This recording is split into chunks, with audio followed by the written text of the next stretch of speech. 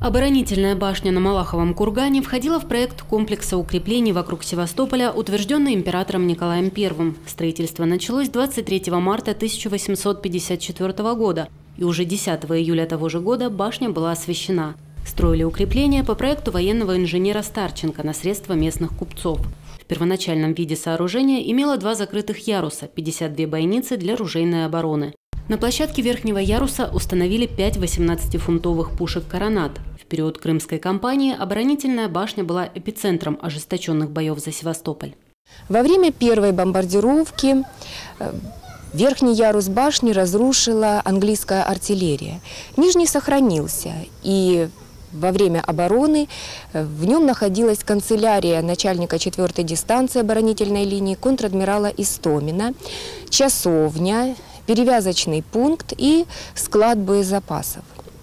Захватив Малахов курган, неприятель устроил на крыше башни телеграф с домиком для наблюдателей. Это запечатлено на снимке военного фотографа Джеймса Робертсона. Снимок был сделан в 1855 году.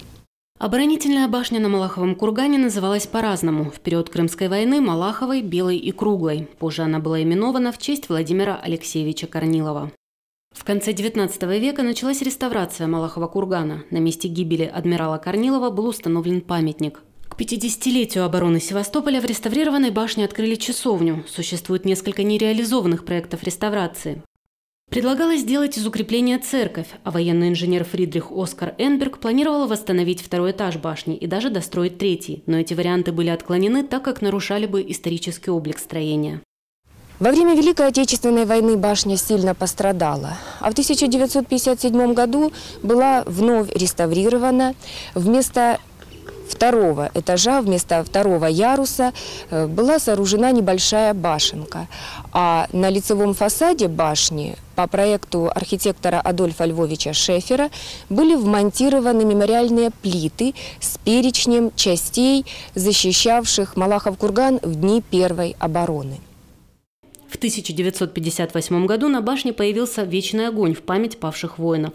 От его пламени был зажжен вечный огонь в Новороссийске, Керчи, Одессе, на Сапун-горе. Но с целью сохранения башни в 1989 году огонь погасили и чашу демонтировали. Сейчас в башне расположен музей. В нем более 200 экспонатов из фондовой коллекции Национального музея героической обороны и освобождения Севастополя. Портреты героев, их личные вещи, награды, документы, старинные литографии, фотографии, гравюры.